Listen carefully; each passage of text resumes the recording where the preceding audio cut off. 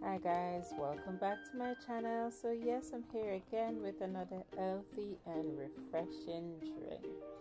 Yes, today I'll be making, as you can see my ingredients there. Hmm? I don't have to tell you, isn't it? You know what I'll be making already.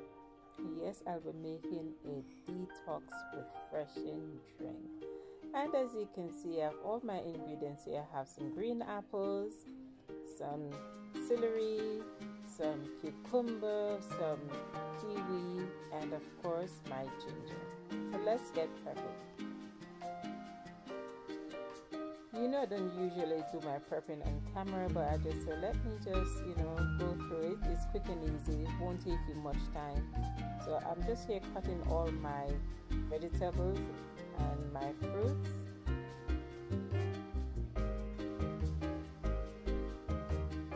know normally I would use my apple corer but today I said I'm just going for the all peel I'm just using my regular knife to cut my apples.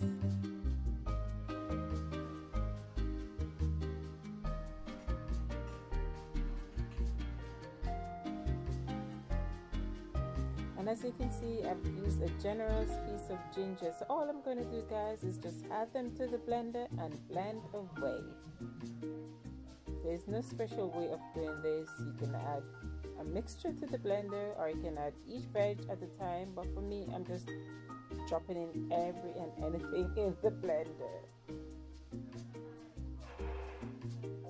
So guys, if you haven't invested in a very ice cube blender, now is the time to do so. You have lots of sales going on and the Ninja um, blender is one of the best on the market. So now I'm just adding some cayenne pepper and I guess you didn't see that coming but this is a trick for it guys and this will help you to lose all this belly fat you have been dying to lose in no time. So just pour over some ice and there we go. This is our healthy refreshing celery drink. It's ready to digest.